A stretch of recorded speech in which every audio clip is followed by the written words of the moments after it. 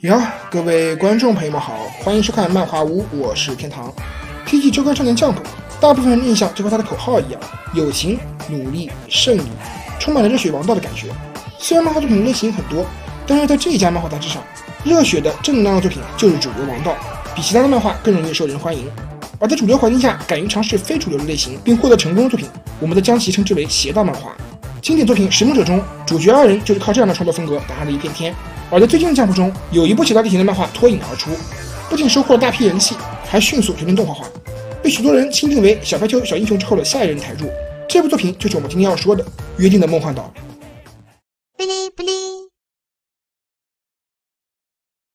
在一所名为 G.F. House 的孤儿院中。孩子们快乐的和照顾他们的护工妈妈伊莎贝拉一起生活着，每天过得充实而健康。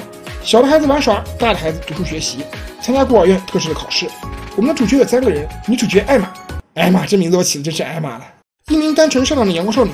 说实话，这个画风看前几话我一直以为是个男的，毕竟你和小白球的日向撞脸了啊喂！后来才发现她穿着裙子，吓我一跳，还以为是女装大佬呢。结果后来发现男二喜欢她，这才确定了这个人确实是个女的。哎，等等。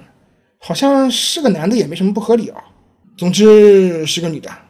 男二号诺曼是一名温柔的少年，头脑过人，擅长分析，逻辑思维能力极强，并且爱用策略，在捉迷藏游戏中从未输过。男三号雷智商与动漫不分伯仲，但是性格冷酷话少，所以很少和其他小孩一起玩。这三个人回回考试都是满分，各方面都比其他的孩子优秀，俨然是孤儿院三幻神。这里的孩子们从出生记事起就是没有父母的孤儿，不记得自己是怎么来的。每年这所孤儿院都会迎接新到来的婴儿，同时也会定期送走部分六到十二岁的孩子去售票外面的人家指定领养。但奇怪的是，从来没有出去的人寄信回来过。而孤儿院的外面有着高墙，围墙的城门和森林深处严禁小孩子进入。分别总是痛苦的。这一天，孤儿院又要送走一名叫科尼的小女孩，但是她走了之后，艾玛却发现科尼平时最喜欢的小熊公仔被落在了孤儿院里。天色已晚，孤儿院的大门已经关闭了，但是艾玛还是想把玩偶亲自交给科尼，毕竟他应该还没走远。于是诺曼用了自己深藏的开锁技术，撬开了大门，带着女主出去一起找人。来到了城门口，他们进到了一辆大卡车。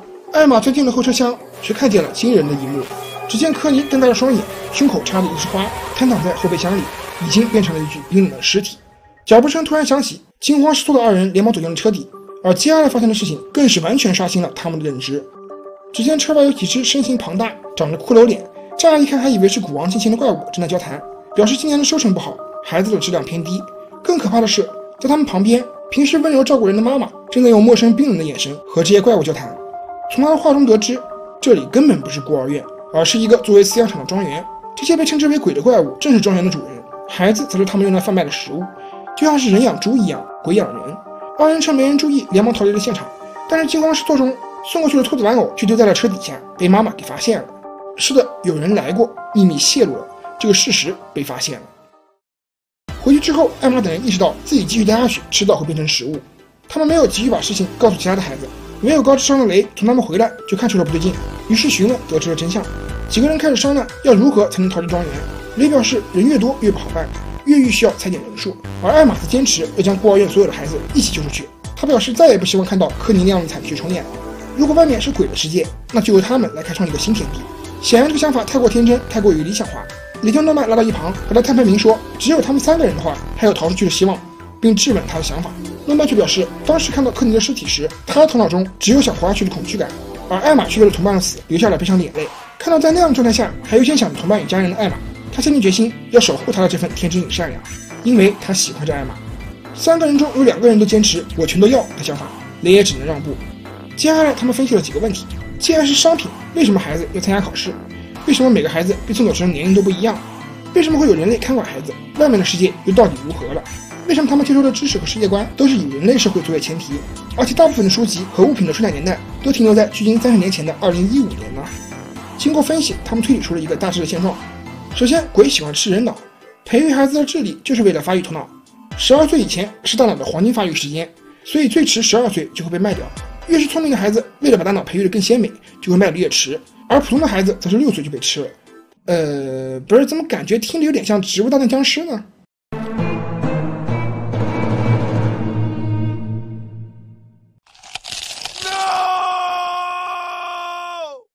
难怪孩子被送走的时候胸口插着花。饲养员妈妈经常让年龄较大的女生帮她一起看管小孩，可以判断她过去应该也是孤儿院的人，因为自身优异被提拔成了饲养员，好处是免于一死。实际在2015年之前还是正常的，但是在此之后发生了什么巨变？主角三人还有不到一年就要满十二岁了，其中年纪最大的雷离生日只有三个月，也就是说，接下来这几个月他们必须策划越狱，这是他们最后的机会。与此同时，孤儿院的妈妈也在寻找发现秘密的人，时不时就会提出一些问题打探他们的反应。有时秘密的监视和突然在背后出现的场景更是显得十分惊悚，尤其是第三话这个画面，当时大晚上看把我吓得够呛。不过他虽然在打探情报，但是却并没有露出丝毫着急的样子，仿佛一切都游刃有余。一天，一个小孩在森林里走失了，他当着众人的面打开怀表看了一眼，然后迅速冲进森林，不到一会儿就带着孩子回来了。艾玛等人这才意识到，这个看怀表的举动其实是一个下马威，是一个只有知道秘密的人才看得懂的下马威。妈妈是想要告诉他们，你们的身上都按着定位系统。我只要查一下，分分钟就能抓住你们。发现秘密的那两位，你们可别想跑啊！于是接下来问题就来了：想要逃跑，想要躲过妈妈的视野，第一件事就是需要准备越狱的材料，比如翻越庄园的围墙需要绳索。艾玛等人找到了桌布，将其自身布条进行代替。第二点是找机会去确认围墙外面的情况，勘察逃跑时最佳的地形。而第三点也是最重要的一点，就是必须搞清楚定位发射器的位置并破坏它。但是现在连外面的世界什么样都不确定。书中描绘的人类科技水平是否是现在的科技水平，甚至书本中的内容是否属实，都是不知道的事。万一人家的发射器牛逼到以他们的知识根本识别不了，那不是瞎了吗？为此，他们也需要寻找线索。就在众人紧锣密鼓地筹备越狱计划时，妈妈却突然给他们安排了打扫房间、搬运货物、整理仓库等一系列任务。一连三天的日程安排都很忙碌，仿佛是在故意拖他们的时间。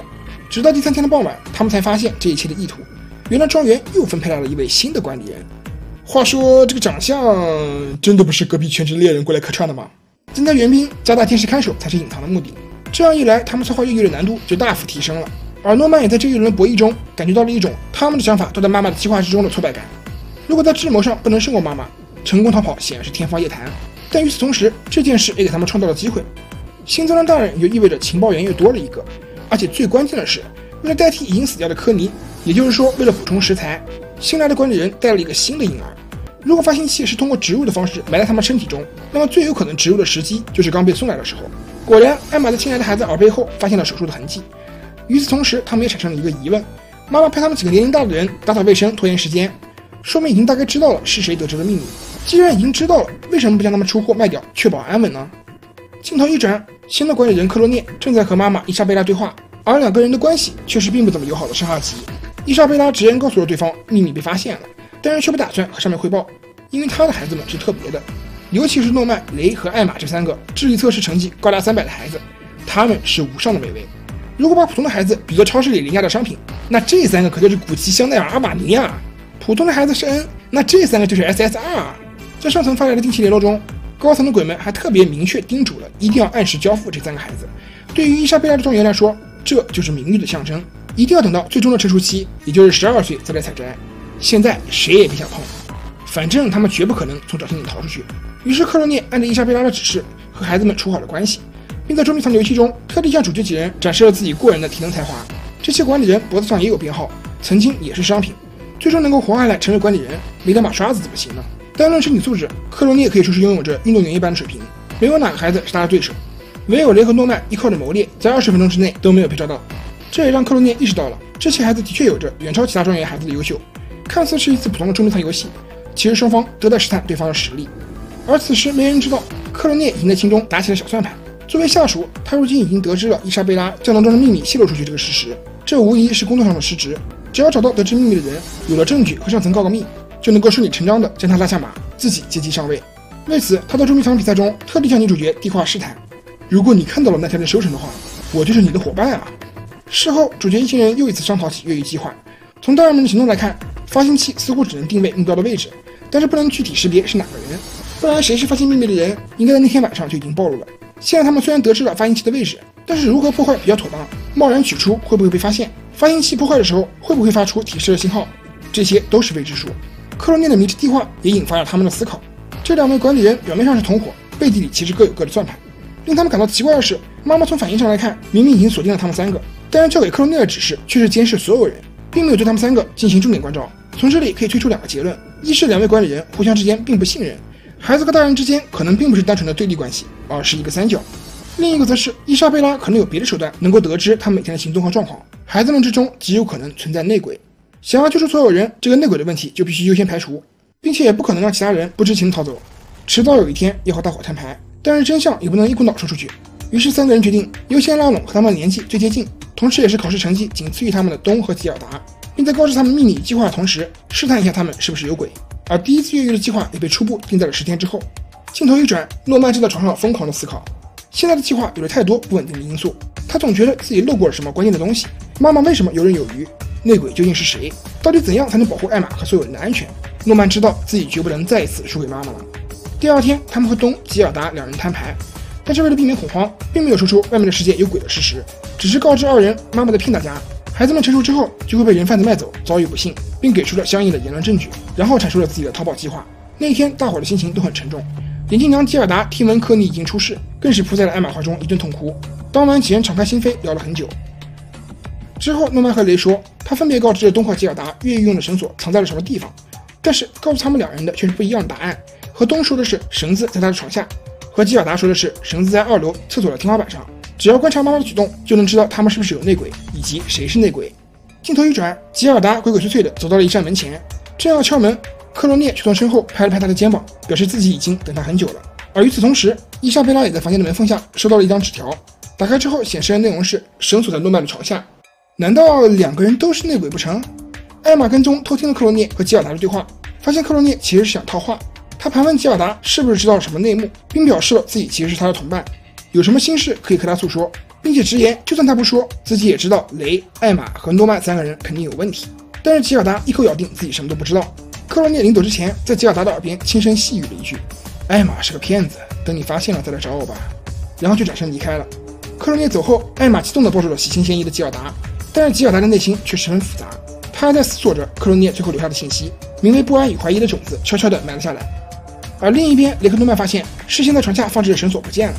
到了这一步，相信答案已经很明显。雷正要开口，诺曼的眼神却突然犀利了起来。他抬起了头，缓缓地说道：“内鬼就是你吧，雷。”原来诺曼这出套路不仅仅是对吉尔达和东的试探，里面还藏了另一个圈套。其实他一共在四个地方放了绳子。他对雷说自己告诉东绳子在床下，告诉吉尔达绳子在厕所，但其实真正告诉东的是绳子在食堂。告诉吉尔达的是绳子在图书馆，所以雷才是真正的内鬼，并且想要陷害鬼东。当雷问诺曼什么时候开始怀疑起自己的时候，诺曼表示从克罗尼来的那一天就开始怀疑了。因为如果雷是妈妈的手下，对看管孩子来说是最有利的，凡事都要考虑最坏的一面，并且这也能说明为什么伊莎贝拉能那么快锁定目标，但却又不急着处理，因为有雷作为卧底掌控了全局。但这同时对于诺曼来说也是个机会，现在得知事实的他也有理由胁迫雷作为集中点，反过来透露情报，并保证自己的安全。相反的，如果和雷斯破脸，只有可能加速伊莎贝拉将他和艾玛出货的速度。来做个交易吧。说真的，当时漫画看到这个时候，我真的是头皮发麻。一是佩服作者能够用如此紧张的节奏画出这么上脑的智商对决；二是感叹，我勒个去，这真的是十二岁的孩子吗？都已经玩起双重间谍了，我的妈耶！那么雷为什么会是间谍？他又隐藏了什么样惊人的秘密？最终他是否会协助这次越狱计划？孩子没有将如何逃出呢？迫于时间的关系，本期解说先到这儿，吊个胃口。由于这部漫画氛围十分紧张，这次也是换了个风格，用认真讲故事的模式做了解说，希望各位能够喜欢。收藏过五千，我会继续出下一期，把这个月月的内容给讲完。喜欢视频的新观众，欢迎关注我。想第一时间收到新视频推送，欢迎点一个特别关注。那么我们下期见。